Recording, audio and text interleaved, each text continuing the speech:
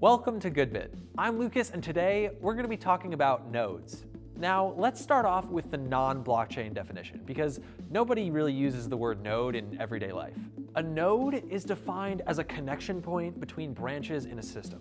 Synonyms would be like crossing or junction. It's a place where things meet. Now, think back to how a blockchain works. There's a huge worldwide network of computers that constantly communicate back and forth with each other. Basically, they're always taking in information and sending out information to other computers. These computers all work together to verify transactions and update their common database. Nodes are places in the network where information is received and sent out elsewhere. So basically, every computer in the network is a node.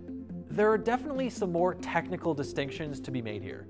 For example, there's a slight difference between nodes and miners.